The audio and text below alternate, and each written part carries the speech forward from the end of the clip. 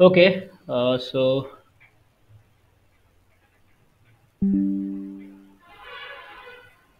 आज first class होगा ना? सो एक्चुअली गुड इवनिंग लिख रहा था मैं। तो first of all good evening to all of you and ये आज लेक्चर वन से स्टार्ट करते हैं। ठीक है? आज डेट है हमारा। एटीन अप्रैल ना?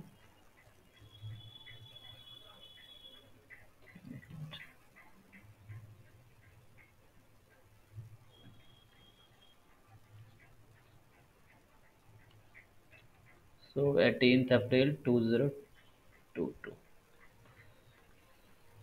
देखो, मैं जो क्लास में कंटेंट पढ़ाऊँगा, वो किसी भी बुक से हो सकता है। मैंने बताया था लास्ट टाइम चार बुक है।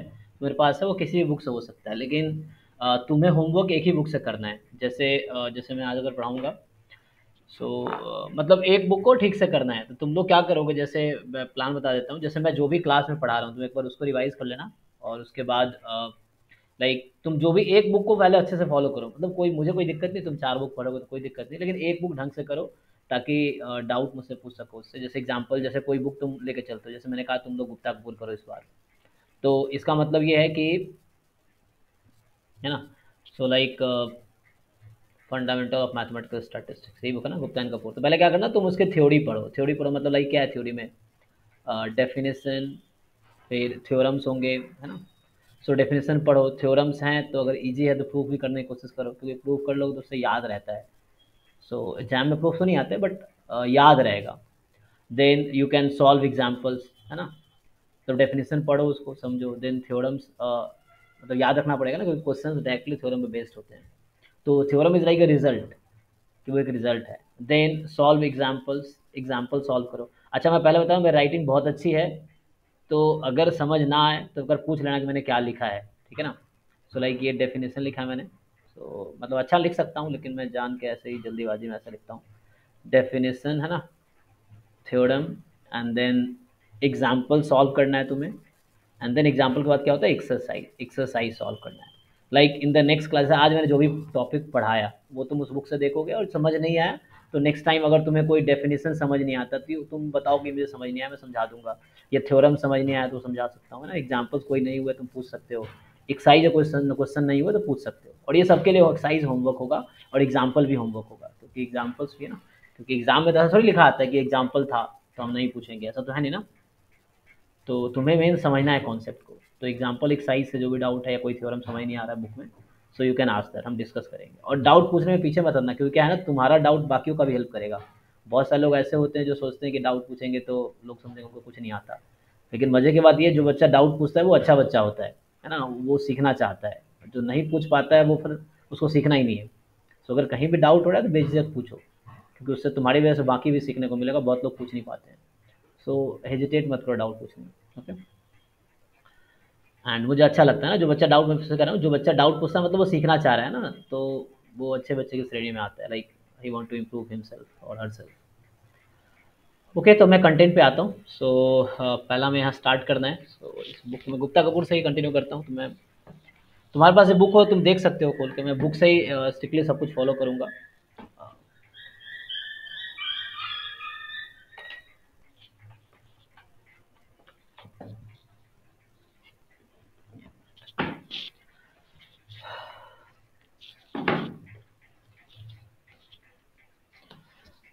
सो so, एक्चुअली मेरे पास जो बुक है फंडामेंटल ऑफ़ मैथमेटिकल स्टैटिस्टिक्स वाली ये है एलेवेंथ एडिशन लेकिन मार्केट में भी ट्वेल्थ या थर्टी एडिशन भी अवेलेबल है. तो मेरे पास पुराना वाला एडिशन है ग्यारहवीं है ना एलेवेंथ एडिशन है.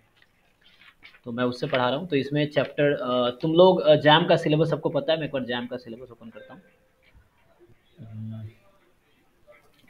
Jam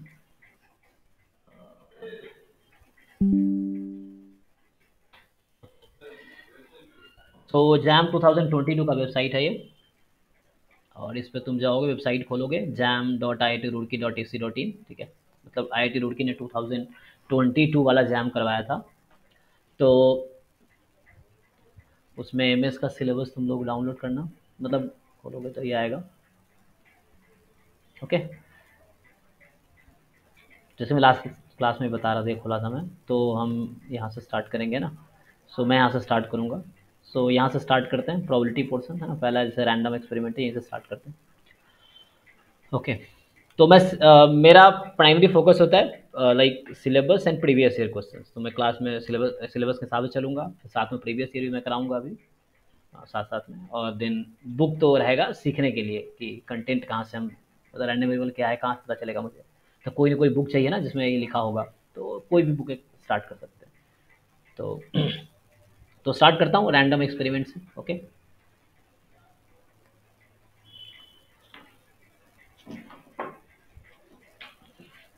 okay. So, the first topic is random experiment. और जितना ज़्यादा इंटरेक्ट करोगे, उतना अच्छा है, ठीक है?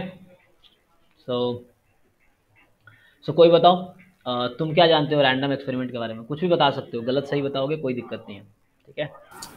Sir whose outcome is not defined और not known before outcome is not defined but actually definition अगर तुम बता रहे हो तो वर्ड थोड़े से प्रॉपर्ली वो होनी चाहिए। ठीक है? एक तुम्हारा सर सर एक्सपेरिमेंट हाँ वन बाय वन बताओ। हम्म। सर एक्सपेरिमेंट का सभी पॉसिबल आउटकम मुझे पहले से पता होता है। हम्म। और एक्सपेरिमेंट का आउटकम रिज़ल्ट जो है सो पहले से पता नहीं होता। है हाँ, और एक्सपेरिमेंट को रिपीट कर सकते हैं आइडेंटिकल एंड सिमिलर कंडीशन में।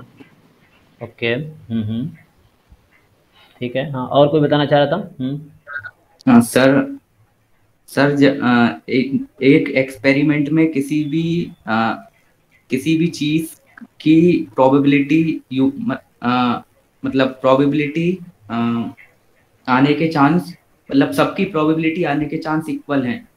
हो सकते हैं उस चीज़ में। ओके हम्म ठीक है ये तुम बता रहे हो वरना random outcome is not unique at identical conditions outcome is not unique okay outcomes are non predictable and more than one हाँ more than one non predictable ठीक है। तो वो रैंडम वर्ड है रैंडम मतलब है कि ये फिक्स्ड नहीं है। रैंडम का मतलब होता है it is not fixed so that can vary तो और कोई बताना चाहेगा कुछ वर्ड में? तो ऑलमोस्ट हम लोग सेम बता लेकिन कुछ लोग गलत भी बता रहे हैं तो उसको मैं करेक्ट करूँगा।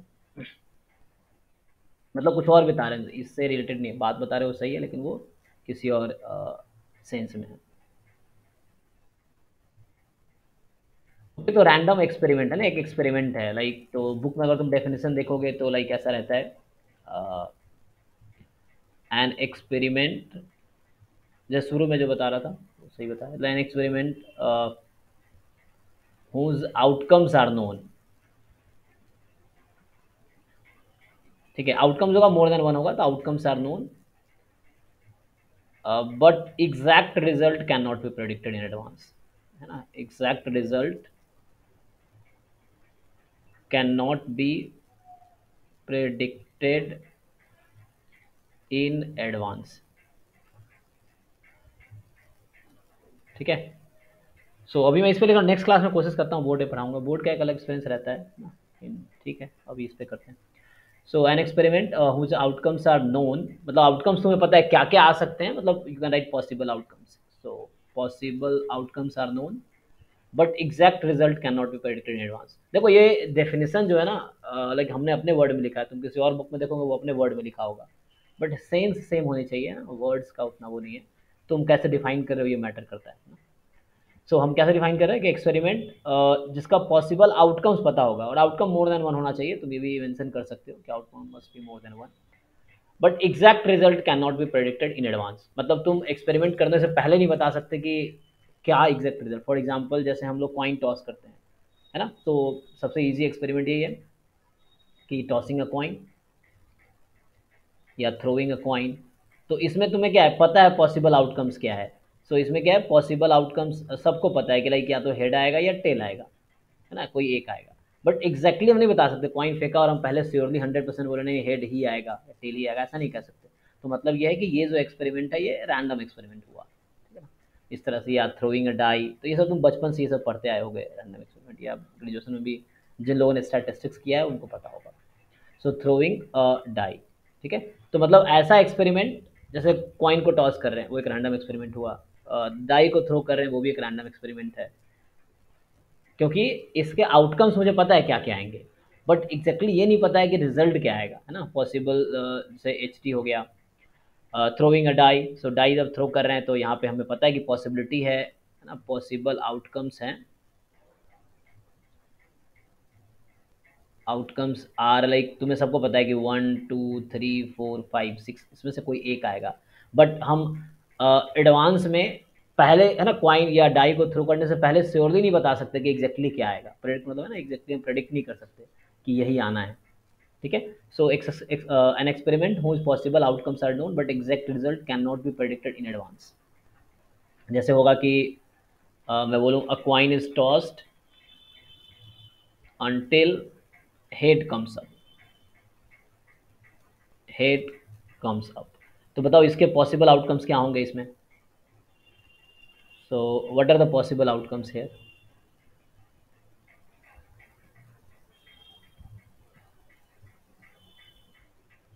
या कोई बताओ। So what are this example मैंने कहा कि टॉसिंग अ कॉइन तो इसमें टॉसिंग एक टॉसिंग अ कॉइन में था हेड या टेल आएगा। थ्रोइंग अ डाई तो one two three four five अब मैं क्या बोल रहा हूँ कि a coin is tossed until head comes up मतलब एक कॉइन को तब तक टॉस करेंगे जब तक कि हेड ना आ जाए। तो तुम्हें ऑल पॉसिबिलिटी बतानी कि क्या क्या आउटकम्स हो सकते हैं पॉसिबल आउटकम्स सर हेड फिर tail head tail tail head tail tail tail head हाँ। टेल टेल टेल तो लाइक ये ऐसा है कि इसे हो सकता है कि पहली बार में हेड आ गया एक तो ये भी पॉसिबिलिटी है ना क्योंकि मुझे सारी पॉसिबिलिटी लिखनी है। तो एक पॉसिबिलिटी है कि पहली बार में भी हो सकता है कि हमने कॉइन टॉस किया और हेड आ जाए एक पॉसिबिलिटी ये है। दूसरी पॉसिबिलिटी के पहले टेल आया फिर हेड आया। और हेड पे हम स्टॉप इसलिए हो रहा है क्योंकि हमारा एक्सपेरिमेंट कह रहा है कि a coin is tossed until head comes up तो तब तक ही टॉस करेंगे जब तक कि हेड ना आ जाए। सो टेल हेड हो गया। लाइक टेल टेल हेड हो सकता है। है ना? ऐसा हो सकता है कि तीन बार टेल आया, फिर हेड आया। ऐसा हो सकता है कि चार बार टेल आया, फिर एक बार हेड आया। और ये चलता रहेगा इनफाइनाइट टाइम तो इसमें इन्फाइनाइट नंबर ऑफ़ आउटकम्स हैं। है ना? अब, है ना? श्योरली हम ये नहीं बता सकते कि पहली बार में टॉस किया हेड ही आएगा। ये नहीं बता सकते अच्छा चौथी बार में हेड आएगा। श्योरली नहीं बता सकते ना कि किस टाइम पे हेड आएगा। जैसे यहाँ पे पहली बार में आ गया। इसमें हो सकता है सेकेंड टाइम में हेड आया। यहाँ आया कि थर्ड टाइम में हेड आया। यहाँ फोर्थ टाइम में हेड आया। फिफ्थ टाइम में हेड आया। तो हम तब तक डाई को थ्रो करेंगे मतलब यहाँ पर कॉइन है तब तक कॉइन को टॉस करेंगे जब तक कि हेड ना आ जाए। तो ये पॉसिबिलिटी है कि या तो फ़र्स्ट टाइम में हेड आ सकता है या सेकेंड टाइम में या थर्ड टाइम में या फोर्थ टाइम में या फिफ्थ टाइम में एंड सो तो ये पॉसिबिलिटी है है ना? हम श्योर नहीं है हम मेरे एग्जैक्ट एग्जैक्टली ये नहीं पता कि एग्जैक्ट रिज़ल्ट क्या आने वाला लेकिन ये पता है कि ये पॉसिबिलिटीज़ हैं। सो so, है ना? ये भी एक्सपेरिमेंट एक रैंडम एक्सपेरिमेंट होगा इस तरह से। या जैसे और थोड़ा आगे बढ़े हम। तो जैसे आ, मैं अगर बात करूँ कि जैसे मान लो लाइफ टाइम ऑफ़ ऑफ़ जैसे बल्ब है ये सब जैसे आगे प्रोबेबिलिटी में ये रियल टाइम एप्लीकेशन इस तरह के क्वेश्चन आते हैं। Life time of a bulb मान लो इन सेकेंड्स बोल दो। सो so, बताओ अगर मैं बोलूँ पॉसिबल आउटकम्स क्या है? Zero to infinite possible outcomes are so possible outcomes होंगे। ज़ीरो टू इनफाइनाइट क्या? मतलब तुम क्या बोलना चाह रहे हो? इंटरवल्स या discrete set interval continuous zero equal to या ग्रेटर देन एक्स और लेस देन इनफाइनाइट राइट तो ये है ज़ीरो टू इन्फिनिटी मतलब ये है कि हो सकता है कि तुमने बल्ब अभी खरीदे और अभी ख़राब हो जाए। स्टार्टिंग में ख़राब ही हो। या हो सकता है कि मतलब उसका लाइफ टाइम क्या लिख रहा हूँ मैं? Life time of a bulb so उसकी बल्ब की तुमने बल्ब पर उसकी लाइफ टाइम क्या है? तो हो सकता है कि बल्ब ख़राब हो स्टार्टिंग में ख़राब हो जाए या एक सेकेंड बाद दो सेकेंड बाद या वन पॉइंट टू सेकेंड बाद. तो हम कोई यहाँ देखो तुम्हें मैं डिफरेंस दिखाना चाह रहा हूँ कि आउटकम्स का आ, क्या है? ये एक इंटरवल आ गया. से ऑल पॉसिबल आउटकम्स ये है. तुम प्रेडिक्ट नहीं कर सकते कि बल्ब की ज़िंदगी दस सेकेंड की है या एक लाख सेकेंड की है या दस साल की है उसके हिसाब से.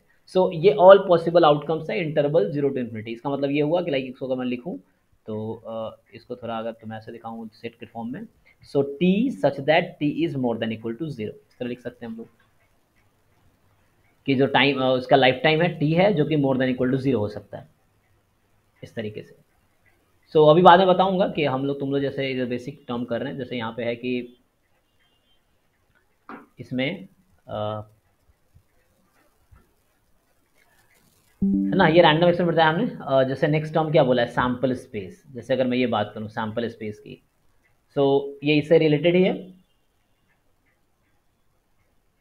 ऐसे क्वेश्चन इन सब में नहीं आए लेकिन ये टर्म समझना ज़रूरी है क्योंकि अगर क्वेश्चन पढ़ रहे हैं उस क्वेश्चन में वर्ड यूज़ किया है कि रैंडम एक्सपेरिमेंट है तो तुम्हें पता होना चाहिए रैंडम एक्सपेरिमेंट होता क्या है। जैसे अब सैंपल स्पेस है। सो so, ये सब भी सबको पता होगा। तो पहले जिन लोगों को पता है वो बताओ। सैंपल स्पेस क्या होता है? The set of all possible outcome of a random experiment is called sample space hmm तो और किसी के पास कोई और डेफिनेशन है? या से आपके पास यही डेफिनेशन है? सेम ही होगा है ना? यस सर सेम हाँ है ना? सैंपल स्पेस क्या होता है? कि कोई एक्सपेरिमेंट तुमने किया और उसके जो भी पॉसिबल आउटकम्स हो सकते हैं है ना? जैसे मैं पीछे एक्चुअली जो लिख रहा था इनडायरेक्टली मैं सैंपल स्पेस ही लिख रहा था। ये सैंपल स्पेस है ये सैंपल स्पेस है। ये है ना, इसका सैंपल स्पेस है उस एक्सपेरिमेंट का, यहाँ ये सैंपल स्पेस है उस एक्सपेरिमेंट का। तो सैंपल स्पेस क्या होगा कि सेट है एक, है ना? Set of all possible outcomes तो ये बहुत बेसिक कर रहे हैं तो ये ऑलमोस्ट जिन लोगों ने प्रोबेबिलिटी थोड़ी भी पढ़ी होगी तो उनको पता होगा। या भूल गए होंगे, नहीं तो पढ़ा, पता सबको होगा।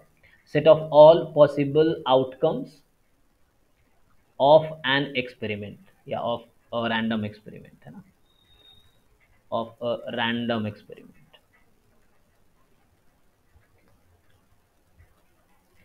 ठीक है? Is called sample space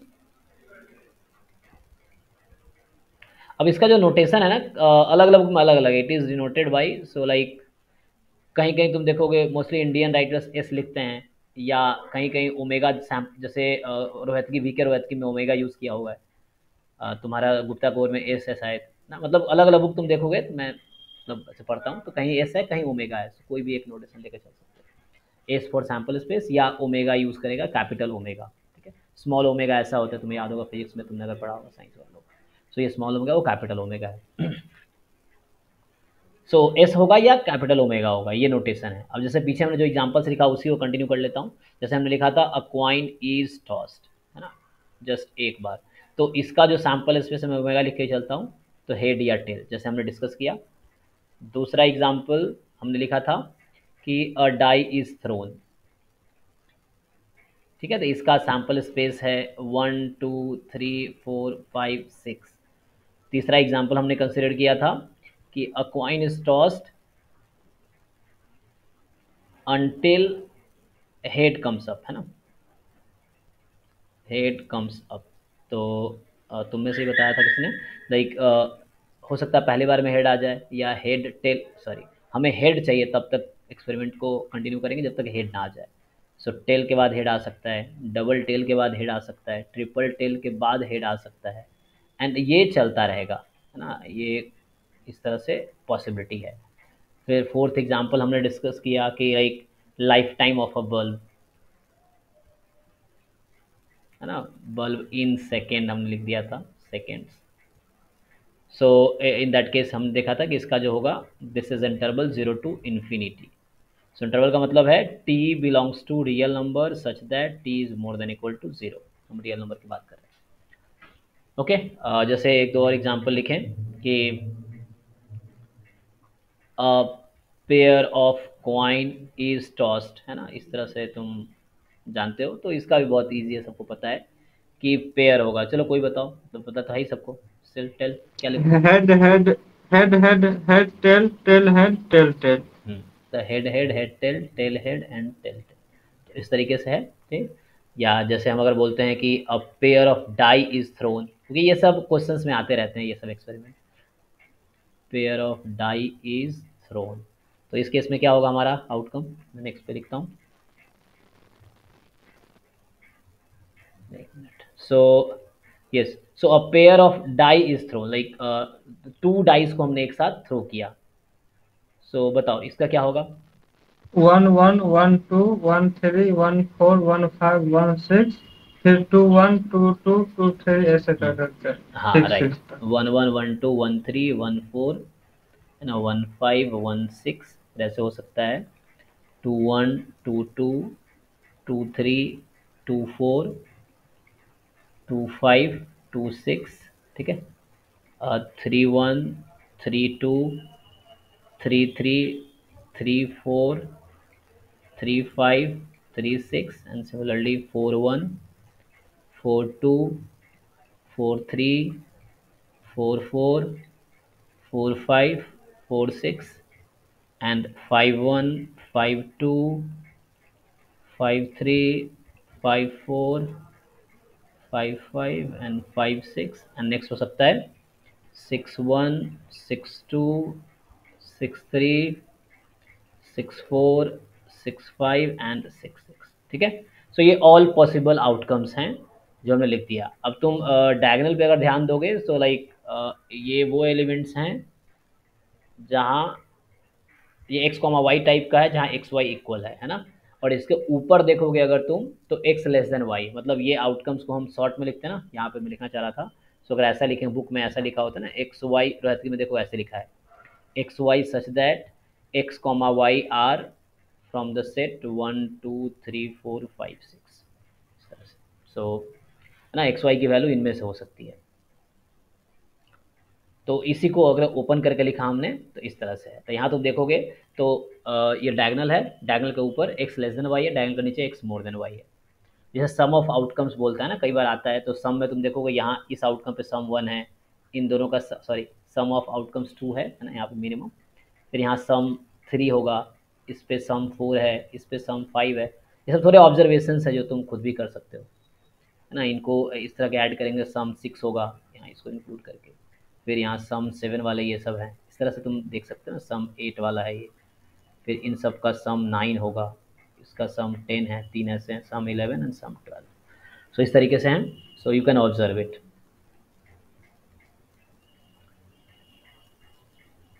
minimum two sum हो सकती है मैक्सिमम ट्वेल्व हाँ, हाँ है ना? मिनिमम जैसे आगे आता है अभी हम रैंडम वेरिएबल आगे जब करेंगे तो आता है कि x is the sum of the number obtained on the die तो उस केस में है ना मिनिमम सम टू हो सकता है मैक्सिमम ट्वेल्व हो सकता है। फिर उसका प्रोबेबिलिटी डिस्ट्रीब्यूशन पूछ लेता है डिस्क्रीट में।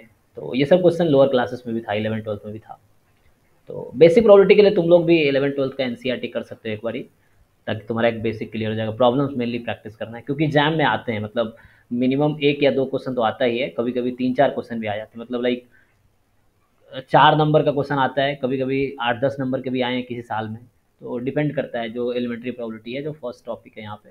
मैं इस टॉपिक की बात कर रहा हूँ। इस वाले से, है ना, इस पार्ट में कभी कभी यहाँ से चार नंबर, कभी छः नंबर, कभी आठ नंबर, कभी दस नंबर तक भी आए हैं। लाइक पेपर्स करेंगे तो तुम्हें पता चलेगा। तो ये एलिमेंट्री प्रॉबिलिटी है मतलब बेसिक प्रॉबिलिटी जो कुछ एडवांस है, बाकी बेसिक्स ही हैं। ओके तो अभी आगे कंटिन्यू करता हूँ। So this you know already ये सबको पता है okay and so next word आता है। अभी हमने क्या देखा? रैंडम एक्सपेरिमेंट सैंपल स्पेस फिर एक वर्ड अक्सर यूज़ होगा इवेंट है ना?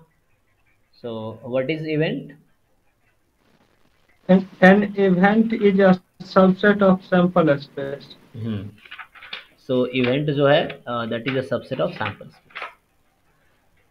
So ये तो मेरे पास जो बुक है गुप्ता कपूर में ये इन्होंने चैप्टर थ्री से स्टार्ट किया है। बुक का नाम है ना? पहले मैं लिख देता हूँ फिर मैं जो भी तुम लोग जब पढ़ोगे तो ये चैप्टर थ्री है गुप्ता कपूर में।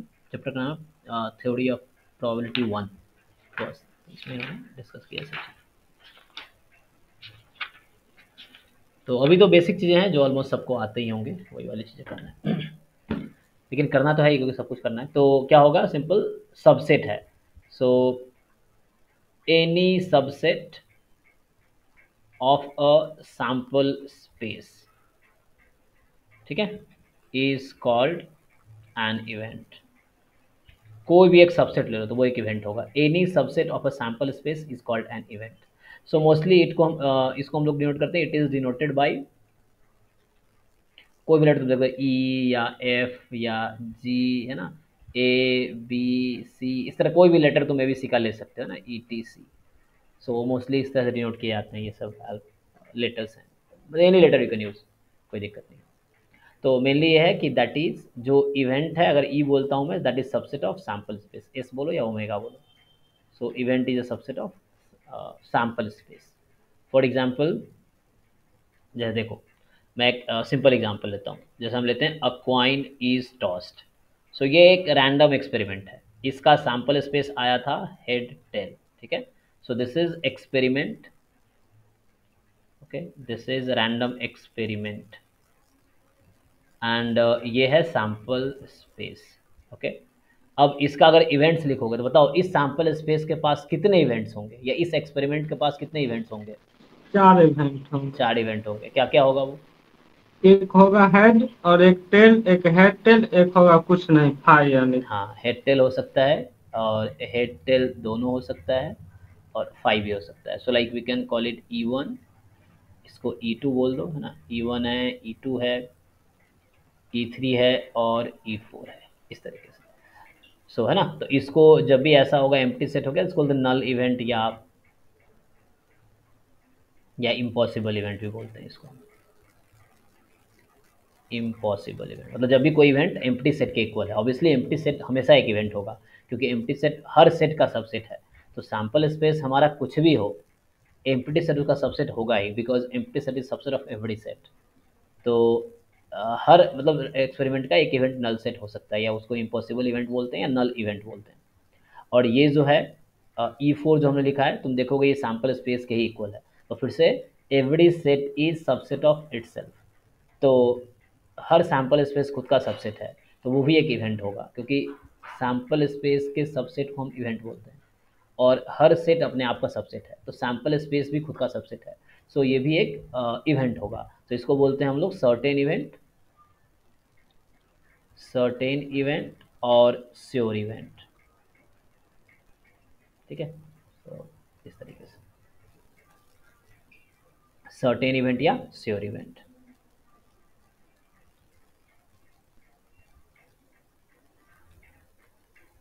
कोई भी एक नेम यूज़ कर सकते हैं। ओके सो ये तो ਅਸੀਂ बता रहे थे। जैसे नेक्स्ट ऐसे है ना तो टोटल मान लो अगर ऐसा है कि इफ़ ये कार्डिनलिटी ऑफ़ सैंपल स्पेस मान लो एम है। मतलब सैंपल स्पेस में एम एलिमेंट है। तो टोटल नंबर ऑफ़ इवेंट्स कितने हो सकते हैं उस एक्सपेरिमेंट के पास? टू रेस टू एम हाँ टू रेस तो अगर टोटल नंबर ऑफ़ इवेंट जो होगा two raise to power m मतलब तुम लोग जानते हो ना कि टोटल नंबर ऑफ़ सबसेट जो होता है एक सेट का टू रेस टू पावर जितने भी एलिमेंट है। तो हमने यहाँ लिखा है ना कि any subset of sample space is an event तो हर सबसेट इवेंट है। तो लाइक अगर मैं बोला हूँ कि ये कार्डिनलिटी है मॉड लगा रहा हूँ सेट पे मतलब cardinality cardinality number of elements so number of element in the sample space is m so total number of subset ये होगा। अच्छा यहाँ पे बात कर रहा हूँ, ये जो फाइनाइट होगा। अगर इन्फाइनाइट भी हो सकते हैं, हमने देखा एक्सपेरिमेंट कुछ, जिसके नंबर ऑफ़ एलिमेंट इन्फाइनाइट हो सकते हैं। तो वहाँ एक अलग बात हम अभी जो केस डिस्कस कर रहे हैं, ये वैलिड है, जब फाइनाइट होगा। तो लेस देन इन्फिनिटी लिख रहा हूँ कहीं पे मतलब बोल रहा हूँ फाइनाइट नंबर है। तो जब सैंपल स्पेस की कार्डिनलिटी फाइनाइट है in that case total number of events होगा टू की पावर एम होगा। ठीक है ये ऑब्वियस तुम सबसेट के फॉर्मूले से बता सकते हो। ओके ये तो हुआ इवेंट अब आगे आएँगे। इवेंट के बाद इसमें क्या लिखा है एलजेब्रा ऑफ़ इवेंट्स तो event space and all so अभी थोड़ा देखते हैं। सो so, अगर मैं बुक में देखूँ तो इन्होंने स्टार्ट किया है शॉर्ट हिस्ट्री हिस्ट्री तुम छोड़ सकते हो। देन रैंडम एक्सपेरिमेंट क्या है? आउटकम क्या है? तो आउटकम जो है रिज़ल्ट जो भी हो सकता है रैंडम एक्सपेरिमेंट का उसको आउटकम बोला है। इवेंट है। देन आता है। चलो थोड़ा आगे बढ़ते हैं। लाइक जैसे अब अब जैसे एलजेब्रा ऑफ़ इवेंट्स पे आएँगे, जैसे सिलेबस में लिखा है ना। एलजेब्रा ऑफ़ इवेंट्स जैसे मान लो एक वर्ड आता है। तो ये होता है डिजॉइंट इवेंट है ना? एक वर्ड आता है डिजॉइंट इवेंट या इसी का दूसरा नाम है म्यूचुअली एक्सक्लूसिव इवेंट है ना? बताओ क्या होता है? तुम लोग जानते होगे इसको ना? Disjoint event A intersection B is equal to five हाँ मतलब अगर कोई दो सेट है आ, मतलब देखो हर सेट आ, अगर सैंपल स्पेस का सबसेट है तो वो इवेंट है। तो इवेंट भी एक सेट है सैंपल स्पेस भी एक सेट है। सो so, तुम्हारे पास टू और मोर मतलब ये मैं टू की बात कर रहा हूँ ठीक है? मान लो हमारे पास सिंपल हम बात कर रहे हैं टू की। सो जनरलाइज भी करेंगे बाद में. So like A and B are disjoint event disjoint events if and only if A intersection B is equal to five मतलब कुछ भी कॉमन नहीं होगा दोनों में. दोनों में कुछ भी कॉमन नहीं होगा. फॉर एग्ज़ाम्पल यहाँ तुम देखो ई टू और ई थ्री जो है डिसजॉइंट है. कुछ भी कॉमन नहीं है. ओके और ये जो इम्पॉसिबल्स इवेंट था, या फाइव तो हमेशा मतलब डिसजॉइंट होगा दूसरे के साथ। So A and B are disjoint event या म्यूचुअली एक्सक्लूसिव इवेंट है। तो उसको बोलेंगे ए इंटरसेक्शन बी फाइव होगा। जैसे मोर देन वन है तो उस केस में क्या होता है? मान लो तुम्हारे पास कई सारे इवेंट हो सकते हैं ना। सो एक वर्ड आता है पेयर वाइज जो हम बोले ना, बात करें डिजॉइंट पेयर वाइज डिजॉइंट है ना? तो ये वर्ड कब आता है? जैसे मान लो तुम्हारे पास बहुत सारे इवेंट्स हैं। फॉर एग्जांपल हमारे पास ना इसे मैं जनरलाइज कर देता हूँ कि इफ़ ई वन एक इवेंट है ई e टू दूसरा है ई e थ्री तीसरा है and so on E n so are n events मान लो ऐसा है एसोसिएटेड विथ एन एक्सपेरिमेंट तो एक्सपेरिमेंट का मतलब रैंडम एक्सपेरिमेंट ठीक है ना? एसोसिएटेड विथ रैंडम तुम ऐसे लिख सकते हो। एसोसिएटेड विथ रैंडम एक्सपेरिमेंट किसी को कुछ बताना है? सो so, हमने एन इवेंट कंसिडर किए ई वन पहला इवेंट ई टू दूसरा इवेंट ई थ्री तीसरा इवेंट इस तरह से ई एन एन इवेंट्स हैं। Associated with a random experiment with sample space let say omega लेके चलता हूँ। एस भी ले सकते हैं मैं ओमेगा लेके चलता हूँ। सो सो दे आर मतलब ये इवेंट्स आर ठीक है? ये जो हम लिखा है events are pair wise disjoint ये जो इवेंट्स मैंने ऊपर बताए हैं events are pair wise disjoint देखो हम पेयर वाइज बात कर रहा हूँ। सो so, इसका मतलब ये हुआ इफ़ एंड ओनली इफ़ कब होगा? तो इसका डेफिनेशन कोई बताओ? बताओ ऑब्वियस नाम से क्लियर है तुम्हारी आवाज़ थोड़ी सी वो घरघड़ा के आ रही है मतलब समझ नहीं आ रहा। हाँ तो लाइक ऐसा है कि E i intersection E j is equal to phi for all i different from j है ना? आई से जब डिफरेंट है तो कॉमन कुछ भी नहीं आना चाहिए क्योंकि आई अगर इक्वल हो गया आई जे तो E one intersection E one E one ही आ जाएगा तो E i intersection E j should be equal to phi phi मतलब नल सेट या empty set for all i different from j ठीक है? तो ये पेयर वाइज मतलब किसी भी दो को तुम consider you take any two E one E two या ई वन के साथ ई e थ्री या ई e टू के साथ ई e फोर ले लो. तो कोई भी टू कंसिडर करोगे तो उसमें एम्प्टी इंटरसेक्शन फाइव होगा.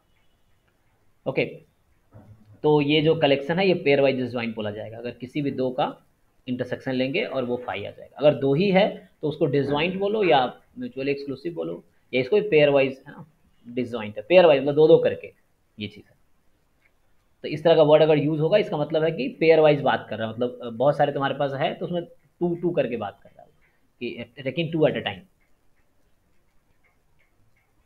तो ये टर्म मतलब है इसका। ओके आगे बढ़ते हैं। जैसे अब क्या आता है? सो so, कुछ अगर टर्म्स और मैं डिस्कस करूँ सो इक्वली लाइकली इवेंट्स होते हैं लाइक इक्वली लाइकली बोलो या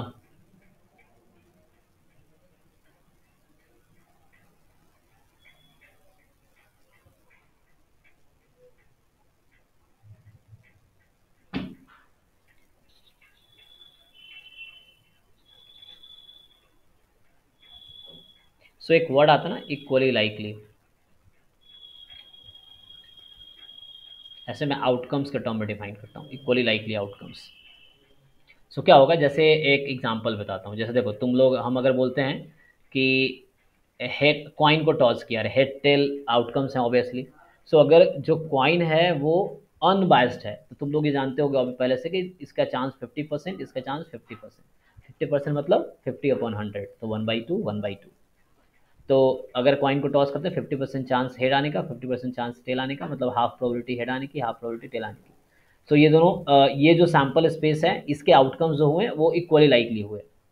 लेकिन कुछ ऐसे भी हैं जैसे मान लो अब कॉइन जो हमने बात किया वो अनबायस्ड है। मतलब अनबायस्ड है बायस्ड है। तो अनबायस्ड में तो ठीक है कोई लाइकली है बायस्ड है। मतलब ऐसा है कि हेड आने का प्रोबेबिलिटी वन बाई थ्री है और टेल आने का टू बाई थ्री है इस केस में। तो इस केस में क्या होगा? दोनों के चांसेस इक्वल नहीं है ठीक है ना? सो चांसेस दोनों के इक्वल नहीं है ठीक है? तो इक्वल नहीं है तो इसका मतलब उस केस में क्या बोलेंगे? इक्वली लाइकली नहीं है। जैसे अभी हम यहाँ बात कर रहे हैं देखो एक एक्सपेरिमेंट लिखा था हमने। इवन uh, मान लो कि तुम्हारा क्वाइन जो है अनबायस्ड है यहाँ पे इस एक्सपेरिमेंट देखो। मतलब अनबायस्ड है। अनबायस्ड का मतलब ये हो गया हेड आने का चांस और टेल आने का चांस इक्वल है क्वाइन पे। स्टिल ये जो सैंपल स्पेस है, ये इसके आउटकम्स इक्वली लाइकली है क्या? तो you can check coin unbiased है। अनबायस्ड मतलब क्वाइन को टॉस करेंगे तो हेड आने का चांस हाफ़ टेल आने का chance half fifty fifty percent so but do you think this sample space has equally likely outcomes no sir नहीं होगा ना? अगर तुम थोड़ा आगे जाकर बात करें तो हेड आने के चांस होंगे वन बाई टू जिसमें बता रहा हूँ। और टेल हेड आने के चांस क्या होंगे?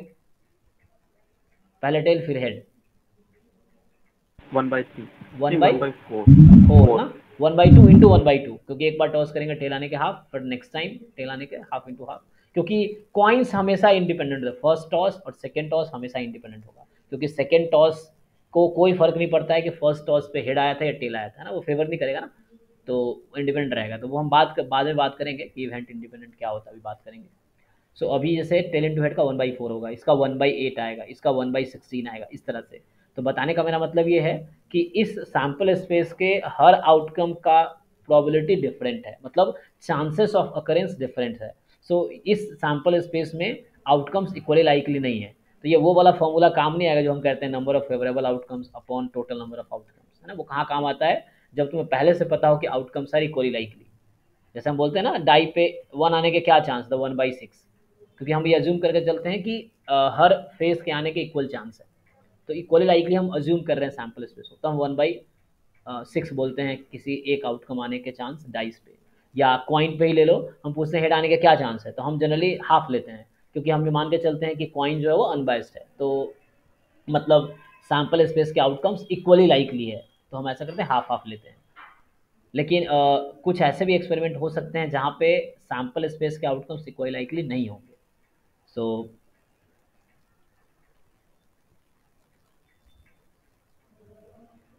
सो लाइक है ना आउटकम्स की बात करें यहाँ तुम लिख सकते हो कोई लाइकली इवेंट्स जैसे बुक में गुप्ता कपूर में बुक इन्होंने यही टर्म यूज़ किया है इक्वली लाइकली इवेंट है ना? तो ये बताना चाह रहा है कि वो इवेंट जिसमें हर आउटकम की प्रोबेबिलिटी सेम हो।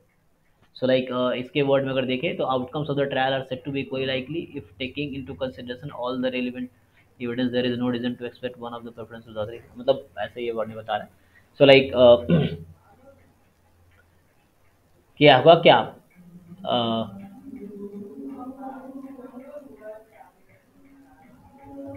सो इट्स बेटर आउटकम से ठीक है। आउटकम्स ऑफ़ इवेंट ठीक है? बस का मतलब समझना है तुम्हें कि like if occurrence of all the outcomes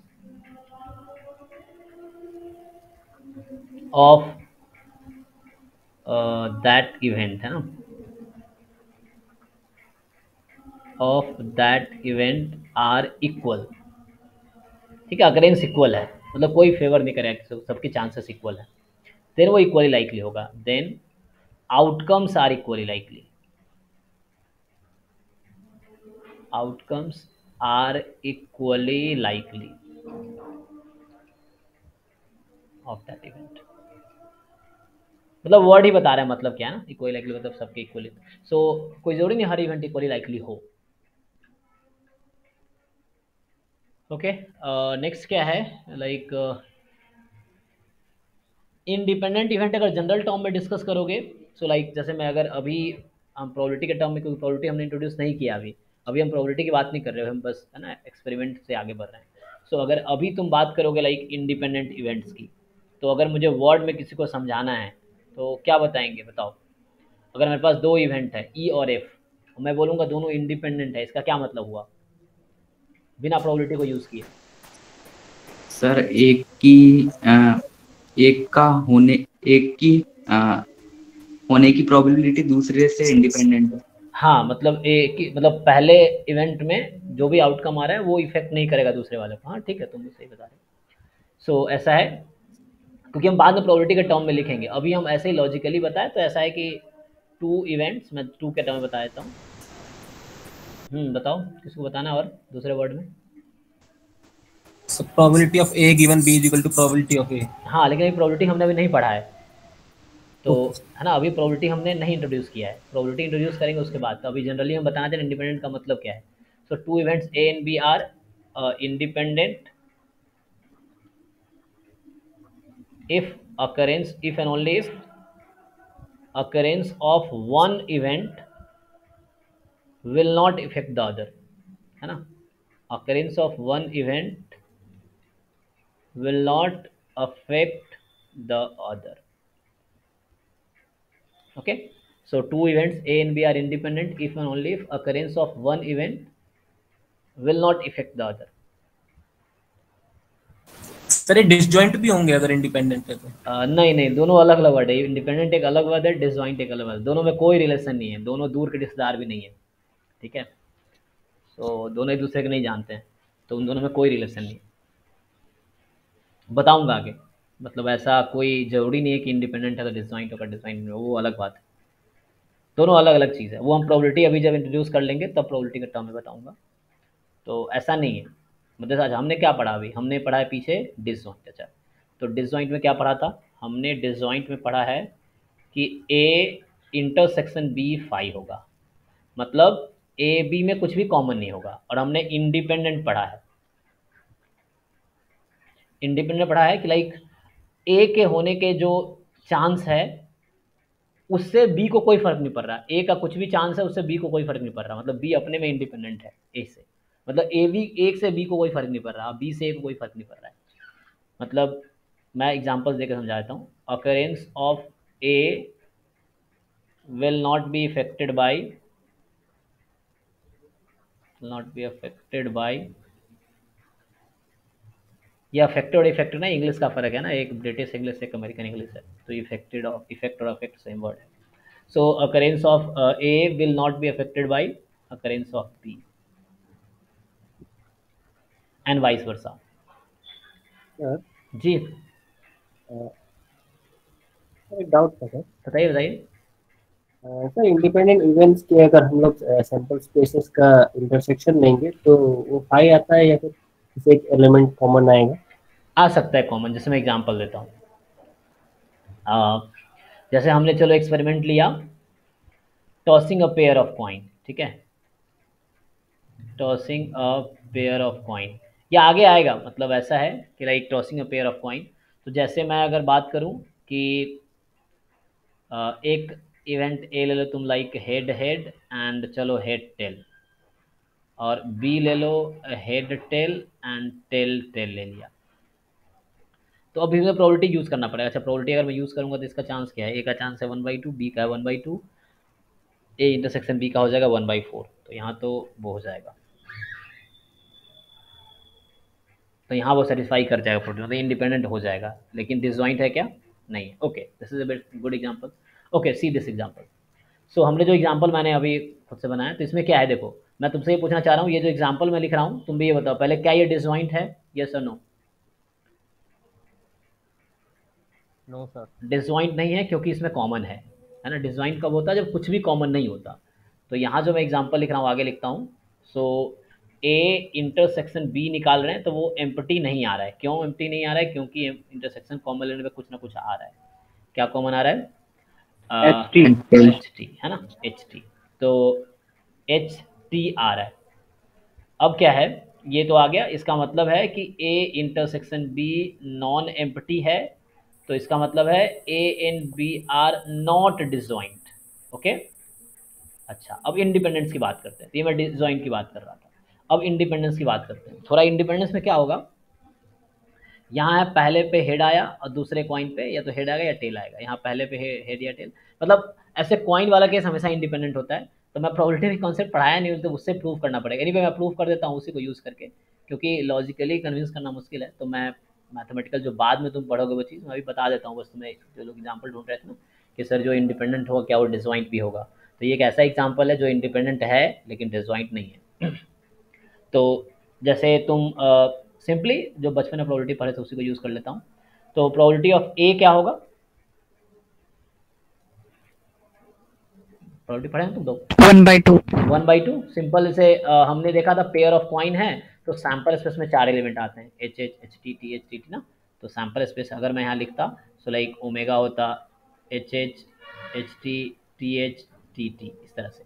चार हैं इसमें दो हैं इसमें से. कोई लाइकली मैं कंसिडर कर रहा हूँ मतलब हेड टेल आने का सेम चांस है. मतलब क्वाइन इज़ अनबाइस्ड तो इसके हाफ़ चांस हैं प्रोबेबिलिटी ऑफ़ बी बताओ. One half one by two हाँ अगेन वन हाफ़ मतलब वन बाई टू इसका भी है।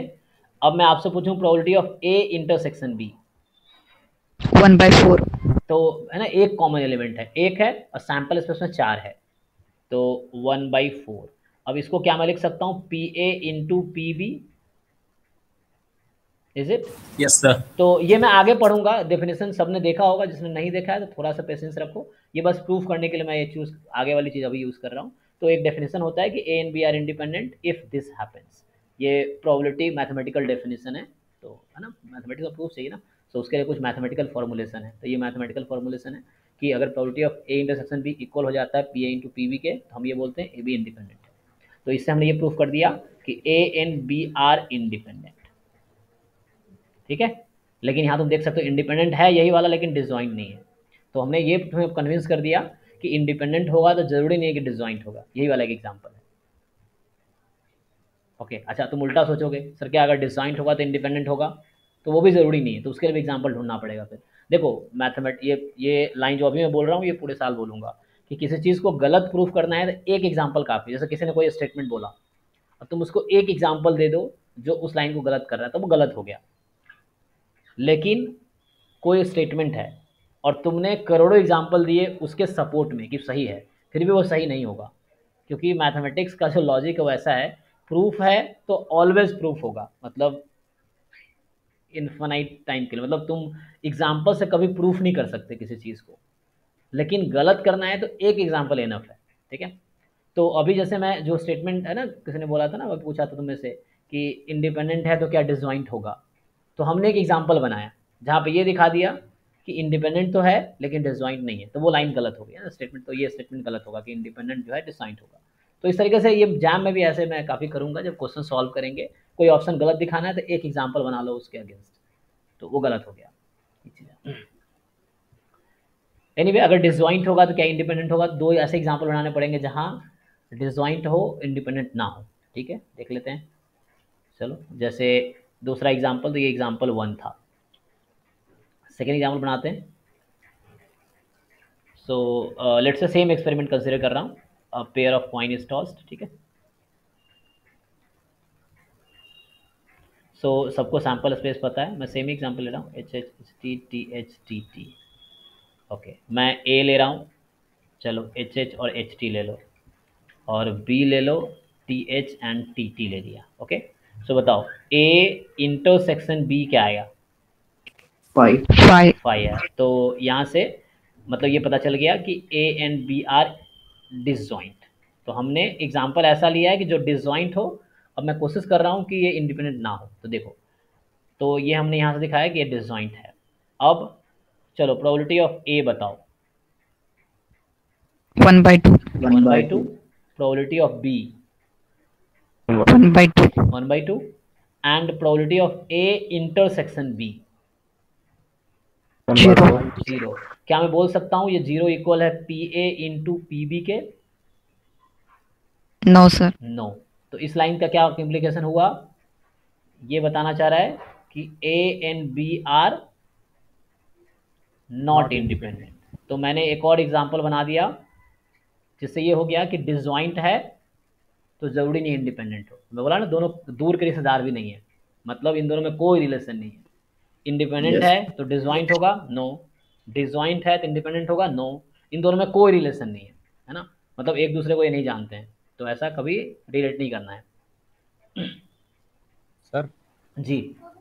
सर जैसे इंडिपेंडेंट है वो सॉरी डिसजॉइंट है तो इंटरसेक्शन वाली प्रोबेबिलिटी ज़ीरो हो जाएगी तो फिर तो वो इंडिपेंडेंट हो ही नहीं सकता ना? जी अगर वो प्रोबेबिलिटी किस इसका हाँ। मतलब डिसजॉइंट और इंडिपेंडेंट साथ में नहीं हो सकते। हाँ अच्छा तो इसका एक ये भी है कि वो इवेंट एक्चुअली नल इवेंट नहीं होने चाहिए। ऐसा हो, अगर पी ए की प्रोबेबिलिटी ज़ीरो हो गई, मान लो, हमने तो ए नॉन एम्प्टी लिया ना। हाँ तुमने सही लाइन कहा, लेकिन यहाँ एक रेस्ट्रिक्शन है कि A B should be non empty तुम जो लाइन करो यू राइट बट ये कंडीशन लगाना पड़ेगा अगर ए को एम्प्टी ले लिए तो जैसे एग्ज़ाम्पल के तौर पर you write so like if A is non empty and B is non empty in that case होगा क्या? A intersection B P A into P B so अगर डिसजॉइंट है if A and B are disjoint ठीक है? और हमने non empty लिया है मतलब ये बोलना चाह रहा हूँ कि probability of A more than zero है probability of B more than zero है। और डिसजॉइंट लिए हो तो इंटरसेक्शन क्या है? ज़ीरो हो गया। तो ये कभी भी इसके इक्वल तो नहीं आएगा प्रोडक्ट में। तो इसका मतलब है कि A and B will never be independent ठीक है? तुम यही कहना चाह रहे हो ना? So your line is fine ji sir ये कहना चाह रहा था हाँ कि अगर डिसजॉइंट है तो वो इंडिपेंडेंट कभी मतलब दोनों एक साथ नहीं होगा लेकिन ये ध्यान रखना है कि ऐसा ना हो। अगर मैं ऐसा एग्जांपल लेते कि ए का प्रोबेबिलिटी हम ज़ीरो ले लेते हैं तो देखो राइट साइड भी ज़ीरो हो जाएगा लेफ़्ट साइड भी ज़ीरो हो जाएगा। अगर ए की प्रोबेबिलिटी ज़ीरो हो गई तो तो इधर भी ज़ीरो और इधर भी ज़ीरो तो इक्वल हो जाएगा। तो उस केस में डिसजॉइंट भी हो जाएगा इंडिपेंडेंट भी हो जाएगा। अगर कोई एक एम्पटी सेट है तब या नल इवेंट है तब या प्रोबेबिलिटी ज़ीरो है तब। So probability non zero then दोनों एक साथ नहीं हो सकता। अगर ए एंड बी की प्रोबेबिलिटी ज़ीरो से ज़्यादा है तब। ओके तो अभी हम आगे आते हैं। सो अभी हमने डिस्कस किया है ना डिसजॉइंट इवेंट या सो सर इवेंट स्पेस और सिग्मा फ़ील्ड सेम सेम है ना? मतलब अलग अलग में अलग अलग वर्ड्स दिए तो इसलिए कंफ्यूजन है। हाँ मतलब सिग्मा फ़ील्ड वही है। अच्छा इवेंट स्पेस की बात करें ठीक है। मैं बता देता हूँ क्या है sigma field I think sigma field क्या होता है? हाँ ठीक है इवेंट स्पेस बोल सकते पावर सेट हाँ। पावर सेट ऑफ़ तुम बोल रहे होगे सैंपल स्पेस ना? वो आते हैं वहाँ पे हम। सो so, वो एक सिग्मा फ़ील्ड कैसे बाद में ज़रूरत पड़ेगा जब हम प्रोबेबिलिटी डिफाइन करेंगे। एक्सोमेट्रिक में हाँ एक्जोमेटिक डेफिनेशन तुम जानते जो लोग पढ़े हैं तो जानते हैं प्रोबेबिलिटी एक फ़ंक्शन है जिसका डोमेन सिग्मा फ़ील्ड है और रेंज ज़ीरो वन है। So what is that sigma field है ना? ये तुम्हें जानना होगा what is that sigma field so अगर इसको हम डिफाइन करें प्रोबेबिलिटी एक फ़ंक्शन है तो जिसका डोमेन सिग्मा फ़ील्ड होता है। तो बाय डिफ़ॉल्ट हम power set of sample space लेते हैं बट हमेशा ऐसा नहीं होगा। तो बट यहाँ पे हम जो प्रोबेबिलिटी पढ़ेंगे, उसमें हम प्रो जो सिग्मा फ़ील्ड है वो power set of sample space होता है। है ना? Mostly we consider this sigma field as अगर कुछ भी नहीं दिया है तो बाय डिफ़ॉल्ट हम, या बचपन से जो प्रोबेबिलिटी पढ़ते हैं जो अभी जो हम पढ़ रहे हैं, वहाँ हम power set of so will consider power set of omega है ना ये लेंगे। तो ये भी आएगा। या अगर मैं अभी डिफाइन करूँ तो क्या होगा?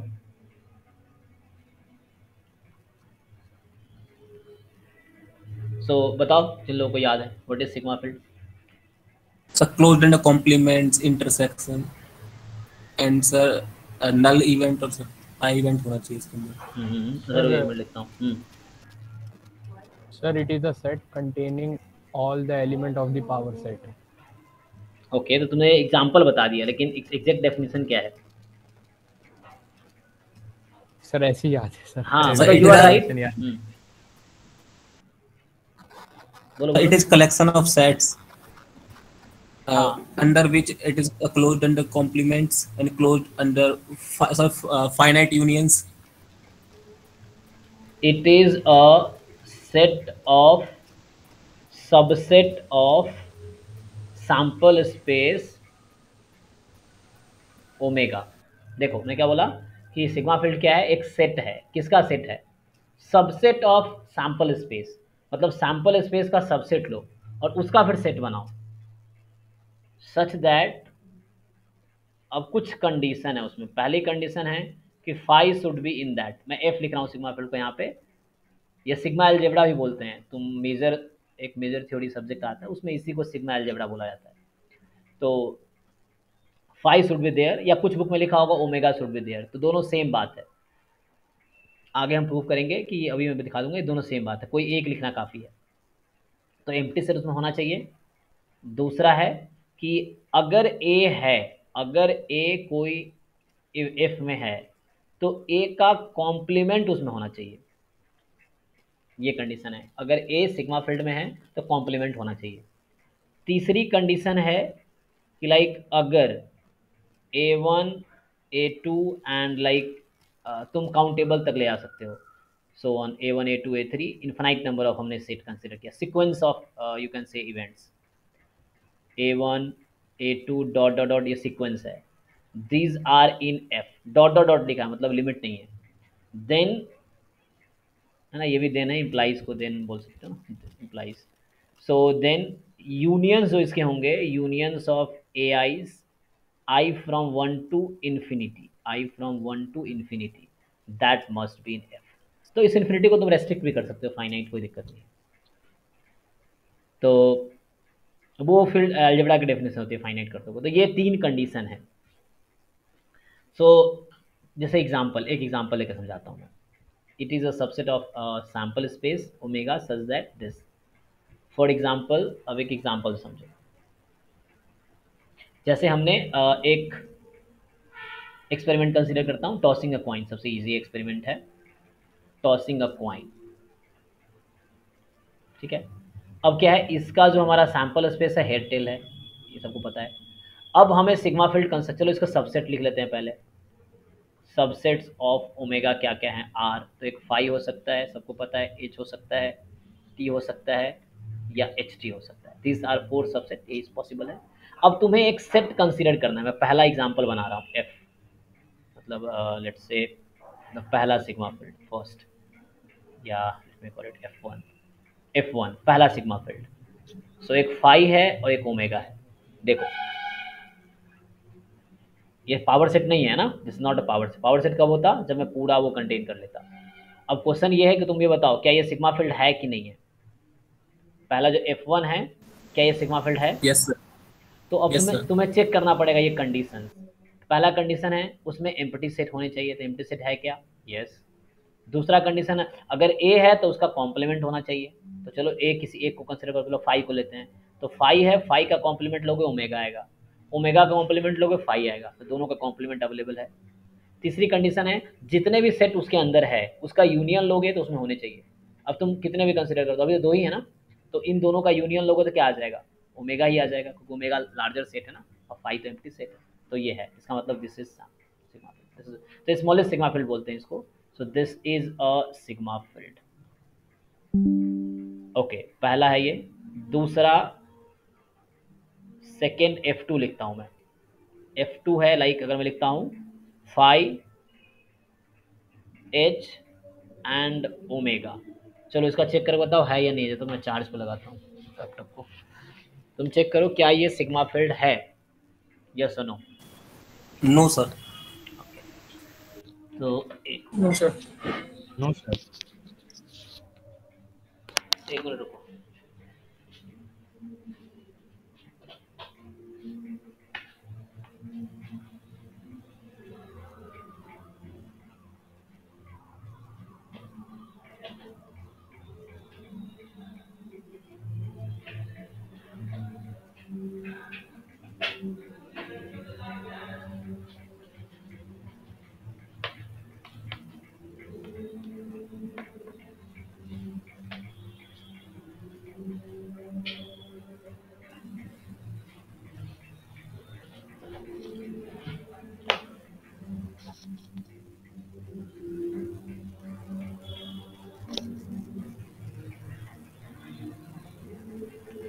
हाँ okay so what is not a sigma field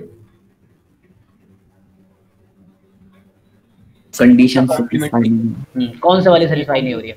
one two three में से? सेकंड सेकंड सेकेंड देखो इसका कॉम्प्लीमेंट नहीं है यही ना?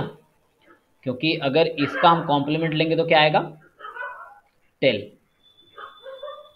कॉम्प्लीमेंट क्या होता है? सैंपल स्पेस में हटा दो जो तुम यूनिवर्सल सेट सेट थ्योरी में पढ़ा होगा। तो वो यूनिवर्सल सेट प्रोबेबिलिटी में सैंपल स्पेस होता है। तो सैंपल स्पेस में से एच को हटाओगे तो टी बचेगा। तो ये नहीं है। सो so, सेकेंड वाली कंडीशन फेल हो गई। That does not belong to F two so इसका मतलब है ठीक है जी? तो ये सेकेंड वाली जो कंडीशन है ये वाली फेल हो रही है इस एग्ज़ाम्पल में। कि इस वाले का सबका बोला अगर ए है तो उसका कॉम्प्लीमेंट होना चाहिए। तो यहाँ ये है लेकिन इसका कॉम्प्लीमेंट नहीं है। So this is not a, sigma field, okay? But इसमें क्वेश्चंस नहीं आते जैम में, बस तुम्हें समझना है कि ये टर्म क्या है है ना? ये नहीं क्वेश्चन पूछेगा कि वो एग्ज़ाम में ये सब एलिमेंट्री तो इंट्रोडक्टरी टॉपिक है, बस जानना है तुम्हें, ताकि आगे की चीज़ें तुम समझ सको। क्योंकि इस पर प्रोबेबिलिटी डिफाइन होता है।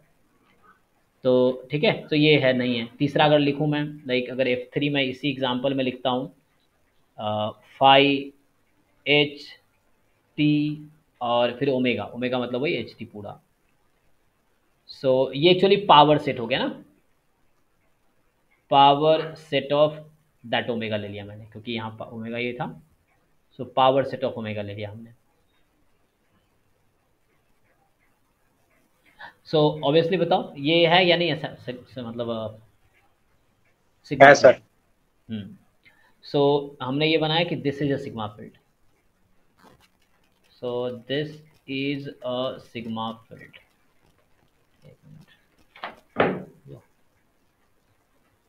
हाँ संतोष। हाँ गोविंद बोल। और कब खाने के लिए आओगे?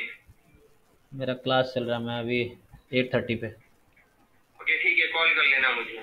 ठीक ओके हम्म।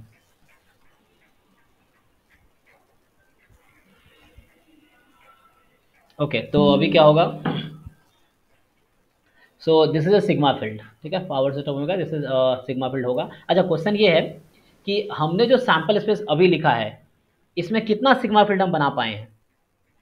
दो ओनली ओनली टू ना? तो यहाँ में देखा कि only F one and F three are sigma field ठीक ना?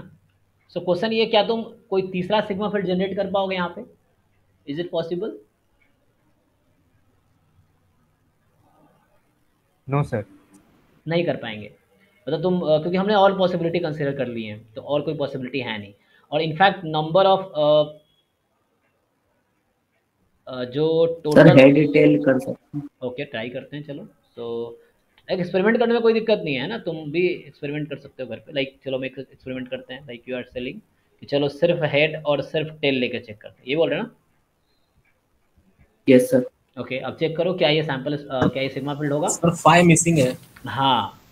तो देखो अब इसमें पहला कंडीशन था कि फाइव होना चाहिए तो वही वाला नहीं है। तो एक तो इसलिए गलत हो गया। अच्छा तुमने अगर ऐड कर दिया मान लो चलो ऐड कर देते हैं। चलो ये तो नहीं है। चलो तुमने सोचा ठीक है हम फाइव ऐड करके सोचते हैं। तो एक्सपेरिमेंट करने में कोई दिक्कत नहीं है। तुम गलतियाँ करोगे तो सीखोगे। सो सेकंड कंडीशन नहीं होल्ड करेगा हाँ फिर इसमें एक मिनट सेकेंड कंडीशन फेल हो जाएगा फाइव के लिए क्योंकि फाइव का कॉम्प्लीमेंट लेंगे तो वो सैंपल स्पेस होना चाहिए। या थर्ड कंडीशन फेल हो जाएगी उसके लिए अगर इन दोनों का यूनियन लेंगे इन दोनों का यूनियन लेंगे तो वो होना चाहिए। थर्ड कंडीशन यही कहती है। कि जितने भी सेट है किसी भी दो का या तीन का या चार का कितने का भी यूनियन लो तो उसमें होना चाहिए। तो उसमें नहीं है। तो ये भी नहीं होगा। तो और हम नहीं कंस्ट्रक्ट कर पाएँगे। तुम ट्राई कर सकते हो। सो so, इसके पास सिर्फ़ दो ही ओनली टू सिग्मा फिर तुम इस सेट पे बना सकते हो। और दूसरी चीज़ है नंबर ऑफ़ एलिमेंट इसमें जो हैं या तो दो होंगी या चार होंगी। हाँ। ओके। सर ये थर्ड पॉइंट जो था एक बार ये बताना फिर। हाँ थर्ड पॉइंट जो है ये हमने जनरलाइज किया हुआ है। A one A two A three dot dot dot लिखा है। मतलब जितने भी सेट्स अवेलेबल है सिग्मा फ़ील्ड में उसका यूनियन लो इन्फिनाइट तक है। ज़रूरी इन्फिनाइट सेट लेना है। तुम फाइनाइट भी ले सकते हो। ये इन्फिनाइट तक के कंडीशन को सेटिस्फाई करेगा। अगर हम दो का यूनियन लेंगे तो भी सेम बात है। तीन के लिए ट्रू है। सो सिग्मा फ़ील्ड के सिग्मा फ़ील्ड के अंदर जितने भी एलिमेंट्स हैं लाइक सिग्मा फ़ील्ड के अंदर सेट्स होते हैं। तुम यहाँ देखो, जैसे हमने बनाया ना तो सिग्मा फ़ील्ड के अंदर एक खुद एक सेट्स हैं। सेट्स ही एलिमेंट्स हैं। तो उनका यूनियन लेंगे टू या थ्री या फोर या फाइव अगर इन्फिनाइट नंबर ऑफ़ एलिमेंट्स हैं तो इन्फिनाइट्स का यूनियन लोगे so that must be inside that F मतलब इसको मैं रेस्ट्रिक्ट भी कर सकता हूँ, है ना? मतलब दो के लिए है, तीन के लिए है, चार के लिए इनफैक्ट इन्फिनाइट के लिए ट्रू कहा A I I from one to infinity लेकिन इन्फिनाइट सेट्स यहाँ है ही नहीं तो जितने हैं, उतने तुम कंसिडर कर सकते हो। मतलब सर ए आई तो उसमें है एफ़ में एफ़ को बिलोंग करते हैं। तो हाँ। उनका यूनियन तो सर मतलब लॉजिकली करेगा ही। नहीं। उनको उसको बिलोंग नहीं देखो यहाँ पे जैसे यहाँ पे एच है और ये टी है तो इसका यूनियन लो। जी sir H H H union T हाँ ये इसका इसका यूनियन लेंगे तो क्या लेंगे? इन दोनों का यूनियन लेंगे तो? ये एच टी हो जाएगा। वो है क्या इसमें? मतलब पावर सेट में होगा तुम जो सोच रहे हो पावर सेट के लिए सोच रहे हो ऑब्वियसली होगा उसमें। लेकिन हमें कंस्ट्रक्ट करना है तो हमें ऐसा एग्ज़ाम्पल कंस्ट्रक्ट करना है जिसमें ऐसा हो। तो जहाँ होगा ऑब्वियसली वो सिग्मा फ़ील्ड हो जाएगा। लेकिन हमने जैसे एग्ज़ाम्पल बनाने हैं तो इसमें नहीं है तो इसलिए सिग्मा फ़ील्ड नहीं है। ठीक है सर। हम्म। अब आगे। ओके तो अभी तो सिग्मा फ़ील्ड डिस्कस इस पर हम प्रोबेबिलिटी डिफाइन करेंगे इससे पहले देखता हूँ और क्या टॉपिक्स हैं। ओके तो अब ये डिफाइन करा क्लासिकल डेफिनेशन ऑफ़ प्रोबेबिलिटी तो चलो पहले क्लास या एग्जोमेटिक भी डिफाइन कर सकते हैं तो पहले क्लासिकल डिफाइन कर लेते हैं। तो क्लासिकल डेफिनेशन वो है जो तुम बचपन से पढ़ते आए बचपन तुम्हें पढ़ाया गया होगा number of favourable outcome upon total number of outcomes है ना? So like classical definition of probability लेकिन इसका रेस्ट्रिक्शन ये है, सिर्फ़ इस, उसी इवेंट पे या सैंपल स्पेस पे काम करेगा जिसके आउटकम्स इक्वली लाइकली है। है ना? तो हम लोग क्या जानते थे कि like sir sample space finite भी होना चाहिए। हाँ यस फाइनाइट भी होना चाहिए राइट तो हम लोग ये लिखते हैं कि if omega is a sample space with equally likely outcomes है ना? इक्वली लाइकली आउटकम्स एंड अच्छा ये भी है कार्डिनलिटी ओमेगा की फाइनाइट होनी चाहिए क्योंकि इनफाइट होगी फिर इन्फाइनाइट से डिवाइड करेंगे ज़ीरो हो जाएगी। तो फिर वो नहीं होगा। सो so, दो रेस्ट्रिक्शन एक तो है इक्वली लाइकली होनी चाहिए और कार्डिनलिटी फाइनाइट होनी चाहिए।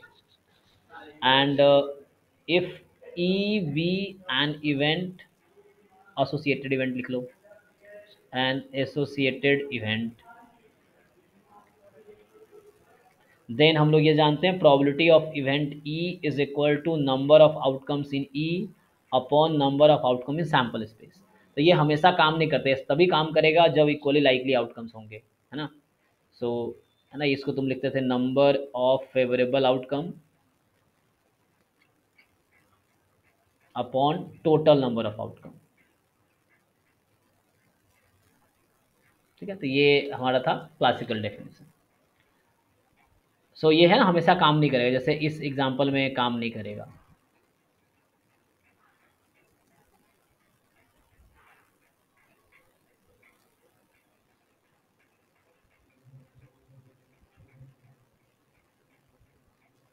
अब यहाँ एक रिकॉर्ड है ना जब इस पर लिखते हैं तो हमारे पास ऑलरेडी रहता है। दूसरा बोर्ड पे पढ़ाएँगे तो ये है कि तुम्हें लिखना पड़ेगा देन हमें वेट करना पड़ेगा।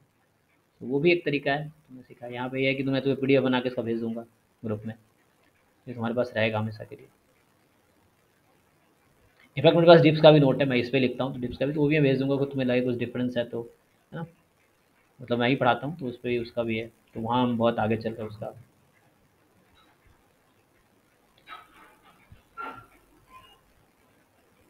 ओके तो मैं एग्जांपल ढूंढ रहा था ना, ये वाला जैसे को यहाँ पे ये फॉर्मूला तुम नहीं लगा सकते, है ना? जैसे क्वेश्चन है कि coin is tossed until head comes up तो what is the probability that head comes in the first toss only तो ऐसा नहीं बोल सकते ओके वन अपॉन इन्फिनिटी है ना? तो यहाँ वो इन्फाइट नंबर ऑफ़ आउटकम्स हो गया।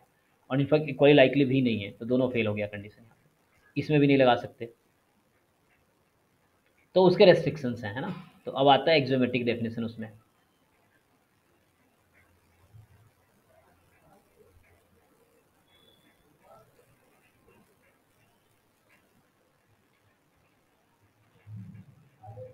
अच्छा ये ये कब यूज़ करें क्वेश्चन लिख लेते हैं। ये कब यूज़ कर सकते हैं? एग्ज़ाम्पल है कि like a pair of dice is thrown इस तरह क्वेश्चन में है ना? सो so, कुछ नहीं दिया होता हम हम करते हैं कि डाई जो है वो फेयर डाई है ना? So fair die so question है what is probability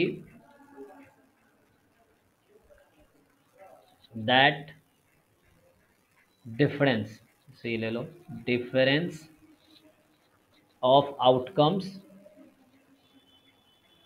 is two मान लो ऐसा है। तो बताओ, किस तरह क्वेश्चन से तुम अप्लाई कर सकते हो ये वाला?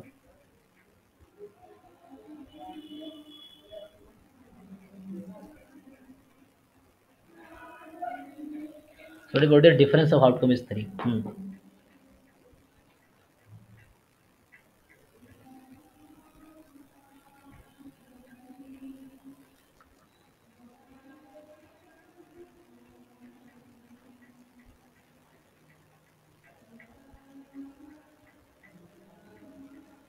sir शायद टू बाई नाइन हो ओके तो पहला ऑप्शन है टू बाई नाइन क्या सबका सेम आ रहा है? चेक करो अपना अपना कैलकुलेशन करो है ना? अंधविश्वास नहीं करना।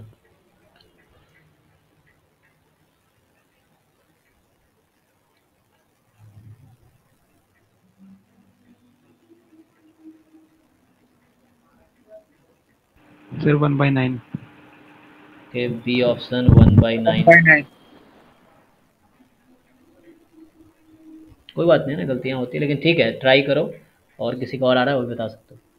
Sir two by nine two one by nine ठीक है तो अब एग्ज़ाम में मान लो इस तरह क्वेश्चन आ गए। कुछ लोग गलत करेंगे ऑब्वियसली करेक्ट तो कोई एक ही होगा। अच्छा सिर्फ़ डिफरेंस बोला है तो तुम्हें ध्यान रखना है पॉजिटिव डिफरेंस कंसिडर करना है। मतलब लाइक अब तुम क्या कर रहे हो यहाँ बताए ना किसमें सिक्स को घटाना है ना ऐसा तो नहीं बोला ना? सो so, यहाँ साइलेंट वर्ड है पॉजिटिव डिफरेंस तो मतलब डिफरेंस का मतलब ये है कि तुम्हें मॉड लेके चलना है। मतलब ये बोलना चाह रहा है लाइक like, डिफरेंस का मतलब बोलना चाह रहा है मॉड एक्स माइनस वाई इसका मतलब है। तो अब तुम करेक्ट कर लो। मॉड एक्स माइनस वाई ये इसकी बात कर रहा है कि mod X minus Y is two X Y outcomes है रिज़ल्ट एक्स कॉमा वाई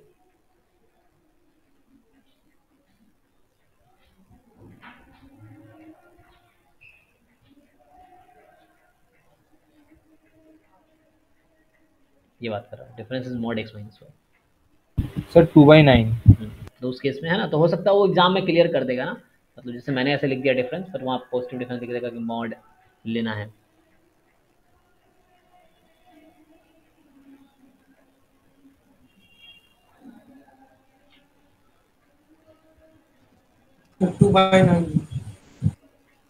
हाँ ठीक है सबका अब टू बाई नाइन आ रहा होगा क्योंकि वो पहले थोड़ा कंफ्यूजन था तो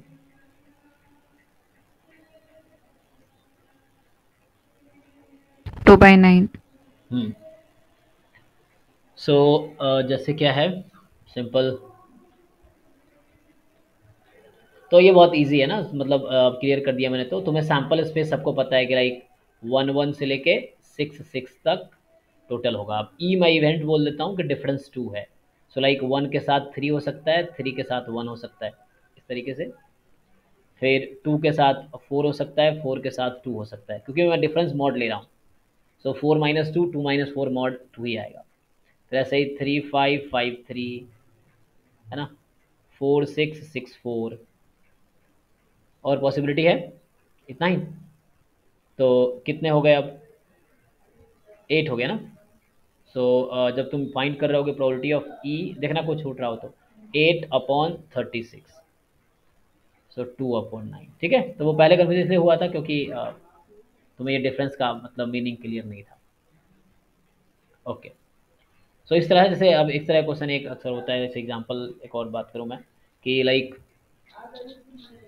find the probability that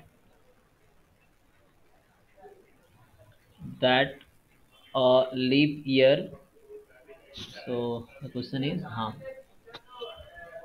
leap year has 53 Sundays तो इस तरह क्वेश्चन तुमने देखे होंगे पहले भी।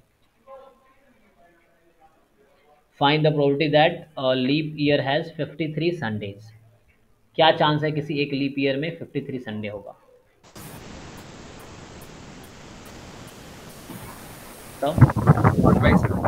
Two by seven two by seven okay कुछ लोग वन बाई सेवन भी है किसी का? चलो ठीक है आई थिंक सबका टू बाई सेवन है। तो ये तुम्हें इसका लॉजिक पता होगा कि लाइक हम लोग जानते हैं कि कि लाइक थ्री सिक्सटी सिक्स ना? तो उसको ब्रेक करेंगे तो सेवन इंटू कितना आता है? Fifty two plus I think two आएगा, है ना? सो फिफ्टी टू वीक्स हो गया। तो फिफ्टी टू संडे तो पक्का हो गया। अब ये टू एक्स्ट्रा डेज़ हैं। ये टू क्या है? एक्स्ट्रा डेज़ हैं। जिन लोगों को डाउट हो पूछना इतने लीप ईयर में total three sixty six days होते हैं। तो हम सेवन डेज़ वन वीक में हैं तो टोटल फिफ्टी टू वीक तो होगा। जब तुम डिवाइड करोगे सेवन से इसको तो तुम जब सेवन से डिवाइड कर रहे होगे थ्री सिक्सटी सिक्स को तो यहाँ फिफ्टी टू और यहाँ तुम्हारा लास्ट में यहाँ टू आएगा। तो रिमाइंडर टू है ना? तो इस तरीके से लिख रहा हूँ मैं। सो so, ये टू एक्स्ट्रा डेज़ डिसाइड करेगा कि फिफ्टी थ्री संडे कब होंगे। तो फिफ्टी टू संडे तो पक्का होगा, है ना? प्लस ये बाकी दो दिन क्या क्या हो सकता है? जैसे हो सकता है कि एक संडे से स्टार्ट करो तो संडे मंडे है ना? Monday Tuesday Tuesday Wednesday Wednesday Thursday Thursday Friday फिर हो सकता है Friday Saturday Saturday Sunday Sunday Monday तो हो ही गया। तो हमने कहा कि संडेज़ की बात कर रहा हूँ तो मैं संडेज़ को यहाँ इससे लिया हूँ संडे मंडे और यहाँ सैटरडे संडे सो अगर ये last two day total possibility सात है। मतलब ये जो एक्स्ट्रा टू डेज़ की टोटल पॉसिबिलिटी ये सेवन है। मतलब लास्ट टू डेज़ ये हो सकता है। और इनमें से अगर ये फेवरेबल आउटकम क्या है? फेवरेबल का मतलब 53 संडे होने के लिए एक्स्ट्रा टू डेज़ को होना पड़ेगा या तो संडे मंडे या सैटरडे संडे यही दो चांस है। सो टू फेवरेबल आउटकम है out of total seven seven possibility है इस टू एक्स्ट्रा डेज़ की। सेवन है ना? तीन, चार संडे मंडे मंडे ट्यूजडे इस तरह से दो एक्स्ट्रा डेज़ इस तरह हो सकते हैं टू बाई सेवन एंड वो जब संडेज होगा तो टू ऐसे फेवरेबल आउटकम है जो फिफ्टी थ्री संडेज कर देगा, अगर ये हुआ तो. अदरवाइज़ टोटल सेवन आउटकम्स है. तो ये है टू बाई सेवन ठीक है? अगर नॉर्मल ईयर होता तो उसमें वन बाई सेवन आता है, क्योंकि संडे मंडे टू सात पॉसिबिलिटी उसमें संडे हो गया लास्ट डे तो फिफ्टी थ्री होगा. तो दिस यू नो ऑलरेडी ये तुम्हारा बेसिक प्रॉपर्टी का है? तो अभी तो प्रॉब्लम्स ट्राई करना, ठीक है? गुप्ता कपूर में जो चैप्टर है थ्योरी ऑफ़ प्रोबेबिलिटी वन उसमें तुम सॉल्व करना, क्योंकि ये बेसिक ही है, जो कि most of you already eleven twelfth में कर रखे हो। तो रिवाइज हो जाएगा। ये सब चीज़ें परमुटेशन कॉम्बिनेशन वाली चीज़ें भी हैं। स्टिल डाउट होगा तो हम डिस्कस करेंगे, ठीक है? चाहे ईजी क्वेश्चन हो डिफ़िकल्ट हो तो वी विल डिस्कस दैट तो अभी एक बुक लेके इसलिए चल रहे हैं हम लोग, कि इसके एग्ज़ाम्पल सॉल्व करो एक्सरसाइजेस सॉल्व करो, जो भी डाउट है पूछो। तो सबके लिए कॉमन रहेगा। रेफरेंस कि हम इस बुक से कर रहे हैं। ओके okay, इसमें बहुत सारे एग्जाम्पल्स हैं। एंड देन बाकी तुम्हें एल्जेब्रा ऑफ़ इवेंट्स की जो बात किया उन लोगों ने तो एल्जेब्रा ऑफ़ इवेंट्स की अगर बात करोगे so this you know already that जैसे अगर मैं बात करूँ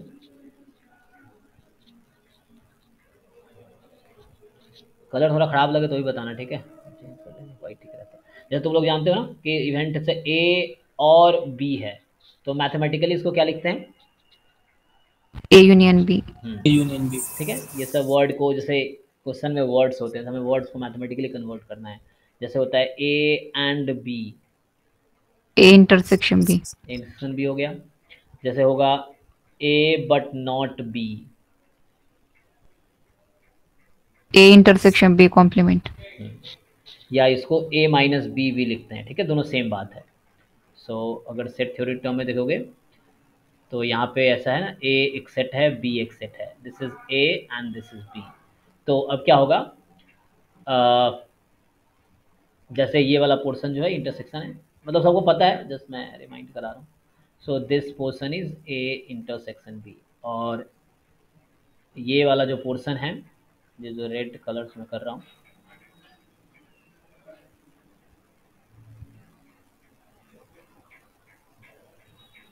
सो so, क्या होगा? ए इंटरसेक्शन बी कॉम्प्लीमेंट हाँ तो इसका नाम है ए इंटरसेक्शन बी कॉम्प्लीमेंट या A minus B A but not B A में से बी का पार्ट बाहर कर दिया हमने और जैसे तीसरा पोर्शन अगर तुम देखोगे ये जो पोर्शन है ये जो मैं ब्लू से कर रहा हूँ। सो so, क्या नाम होगा इसका? ए कॉम्प्लीमेंट इंटरसेक्शन बी और B minus A A complement section B या बी माइनस ए या तुम बी पहले लिख लो कोई दिक्कत नहीं है। बी सेक्शन ए कॉम्प्लीमेंट तो ओके तो ये सब तुम सबको पता है जस्ट मैं रिवाइज कर रहा हूँ ताकि बीच में तुमसे ना गलतियाँ ना हो silly mistake sir A A but not B ऐसे भी लिख सकते हैं ना? A minus A intersection B okay yes same thing है. बट ए माइनस बी भी ओके है. हाँ मतलब तुम जो बोल रहे हो वो भी ठीक है. A minus A intersection B तो after simplification you will find कि ऐसे ही आ जाएगा. ए माइनस बी आ जाएगा. हाँ कि यहाँ तुम ब्रेक करोगे फिर इंटरसेक्शन कॉम्प्लीमेंट तो बाद में वो एटलास ही आ जाएगा। बट ये भी तुम्हारे भी, भी करेक्ट है। लेकिन क्वेश्चन करते हुए मैं हम सिंप्लीफाइड फॉर्म यूज़ करेंगे। फिर ऐसे ही फोर्थ है जैसे बी बट नॉट ए जैसे तुमने अभी बताया सेम टर्म है ना? So this is B intersection A complement या बी माइनस ए है ना इस तरीके से। आ, फिर जैसे आता है नाइदर ए नॉर बी। बताओ। A union B whole bracket complement हाँ ए है ना या डी मॉर्गन लॉ लगा लेंगे तो A complement intersection B complement ठीक है ना? ए भी नहीं बी भी नहीं। इसका मतलब ये हुआ अगर मैथमेटिकली समझाऊँ तो not A and not B इसका मतलब ये है ना नॉट ए एंड कुछ भी नहीं होना है। ए भी नहीं होगा एंड बी भी नहीं होगा। तो दिस इज़ थिंग ठीक है? और जैसे कहीं एटलिस्ट यूज़ होता है तो एटलिस्ट का मतलब यही है, और है ना? जैसे बोलते हैं एटलिस्ट कहीं यूज़ हो गया।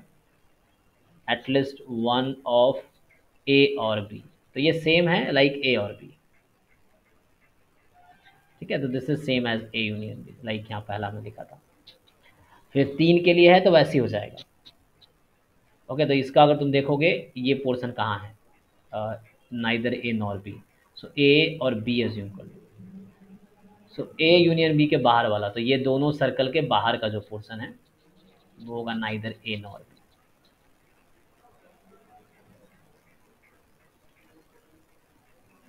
सर्कल के बाहर के जो पोर्शन है।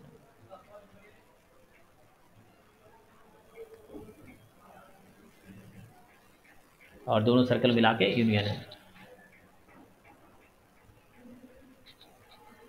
ओके यूनियन तो पता ही तुम लोगों को। यूनियन का क्या है कि so A union B is the ये सबको पता है कि this part A union B okay और अगर देखोगे, जैसे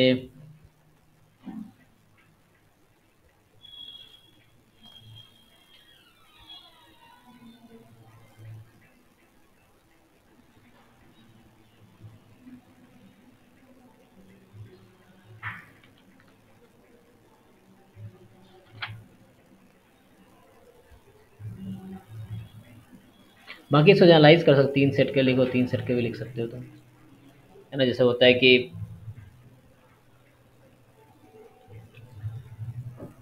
चलो सेवन जैसे बात करते हैं ना, तीन सेट है मान लो ए बी सी सो जैसे लिखा होता है exactly one of A B C इस तरह को मैथमेटिकली कैसे लिखना चाहोगे? तीन सेट है अगर तुम A intersection B intersection C complement union a complement intersection b intersection c then you repeat repeat करो रिपीट करो एग्जैक्टली वन एक ही होना चाहिए a union a a complement union b complement hmm union c hmm intersection hmm a complement hmm uh, sir union b hmm union c complement. Hmm intersection. Hmm a union b complement. Hmm union c complement. Okay तो question है बाकी लोग agree करते हैं? Sir जहाँ union है sir उल्टा हो गया। हाँ उल्टा हो गया ना? सर ये उल्टा है। यस सर तो यूनियन इंटरसेक्शन इंटरचेंज कर दो। मतलब ऐसा है कि ए नहीं होगा एंड बी नहीं होगा एंड सी होगा और ए नहीं होगा सी नहीं होगा और बी होगा। सो लाइक दिस और और यूनियन मतलब और तुम्हें पता है ना? सो ए होगा एंड बी नहीं होगा सी नहीं होगा। लाइक दिस तो इसको मैं करेक्ट कर देता हूँ। तो इसे फॉर्मुलेट कर लो, थोड़ा सा बुक्स पढ़ो, है ना? किताब इसलिए चाहिए क्योंकि उसमें सब कुछ लिखा होता है। हमारे पास टाइम लिमिटेड होता है तो हम मेनली चीज़ें बताते हैं। बाकी नहीं समझ आएगा तो वो बताएँगे।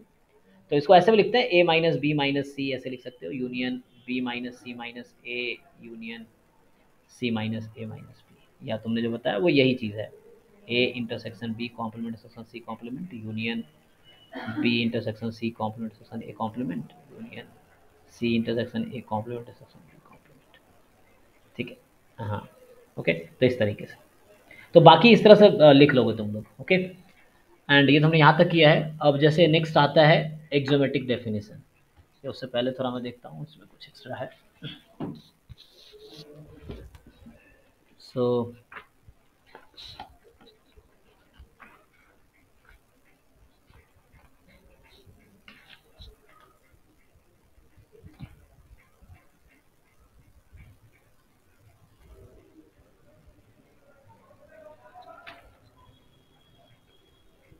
हम्म, तो अब ये आता है एक्जोमेट्रिक डेफिनेशन तो एक्चुअली हमारे हॉस्टल में आज ना थोड़ा स्पेशल डिनर है तो आज तो बेसिक ही किया हूँ। तो तुम यहाँ से क्या करना? अभी तो हमने एक्जोमेटिक किया नहीं है। तो जो तुम्हारे पास बुक होगा एक्जोमेटिक मैं नेक्स्ट क्लास में करूँगा। तो यहाँ से नेक्स्ट क्लास में स्टार्ट करेंगे।